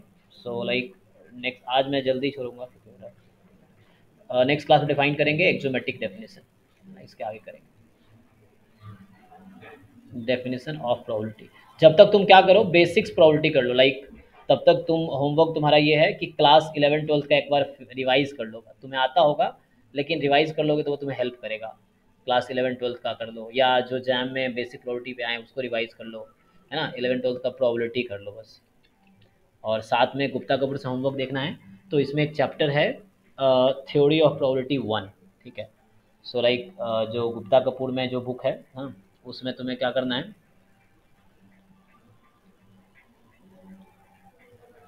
गुप्ता कपूर बुक से। चैप्टर मेरे बुक में थ्री है, तुम देखना तुम्हारे एडिशन में कौन सा है। चैप्टर थ्री में, मेरे में नाम है थ्योरी ऑफ़ प्रोबेबिलिटी है ना? Theory of probability one first तो इसमें बिफोर एक्जोमेटिक डेफिनेशन जितने एग्जाम्पल्स है वो सॉल्व कर लेना। मतलब है काफ़ी सारे एग्ज़ाम्पल बाईस, पच्चीस एग्ज़ाम्पल है ट्वेंटी टू एग्जाम्पल्स हैं। तो उसको सॉल्व कर लेना, ठीक है? सो एक्जोमेटिक डेफिनेशन इन्होंने मेरे बुक में डिफाइन किया ट्वेंटी टू पेज पे। तो पहले ट्वेंटी वन पेज पे जितने एग्जाम्पल्स है यू कैन डू दैट ठीक है? चैप्टर थ्री में ट्वेंटी टू पेज पे एक्जोमेटिक डेफिनेशन है। So first twenty one page पे जितने एग्जाम्पल्स हैं। सो चेक करना। फ़र्स्ट ट्वेंटी वन पेज पे सॉल्व करो ऑल एग्ज़ाम्पल जो भी डाउट नेक्स्ट क्लास में, पहले डाउट पूछना, फिर हम आगे बढ़ेंगे। सॉल्व ऑल एग्जाम्पल्स क्योंकि वो क्लासिकल डेफिनेशन से ही हो जाएगा। इक्वली लाइकली है तो उससे हो जाएगा। जो कि हम बचपन में पढ़ते थे वही सब क्वेश्चन हैं। तो एक बार रिविजन हो जाएगा। या वही इक्विवेलेंट है इसके इलेवन ट्वेल्थ की प्रॉबिलिटी में यही सब होगा। ओके तो बाकी मैं आज आधा घंटा जल्दी छोड़ रहा हूँ। नेक्स्ट टाइम से ना आई करें कोई दिक्कत नहीं मतलब देखेंगे। अभी तो स्लो स्लो चलेंगे अभी बहुत टाइम किसी को पूछना है कुछ? ये नोट्स मैं भेज दूँगा ठीक है? क्लासेस कब कब रहेंगी आपकी? हाँ मंडे वेडनेसडे फ्राइडे टाइम है six thirty to eight thirty ठीक है? लिंक मिला हुआ गूगल ग्रुप का मतलब गूगल का लिंक नहीं तो ग्रुप में आएगा क्लास से पहले। ओके और किसी को कुछ डाउट है? सर एक मिनट डाउट हाँ। एक मिनट पहले तुम रूम पे बात करो तुम्हारी काफ़ी वो वॉइस आ रही है उसकी हवा एयर की। हम्म। अब पूछो। अंकित आई थिंक तुम पूछ रहे थे। हाँ हाँ सर अब सुना दे रहा है? हाँ हाँ। मींस नेक्स्ट क्लास में जो क्वेश्चन का डाउट होंगे मींस एक्सरसाइज का वो सॉल्व करेंगे तो हाँ तुम सॉल्व करना डाउट होगा तो मैं सॉल्व करूँगा तो हम लोग सॉल्व करेंगे। ओके सर डाउट करेंगे फिर आगे बढ़ेंगे। ऐसे चलेगा पूरा बुक हो जाएगा इस तरह से पूरा बुक हो जाएगा। हम्म। एक चाहो तो अलग नोटबुक बना लो एग्ज़ाम्पल एक्सरसाइज का देन ठीक है? रोकने का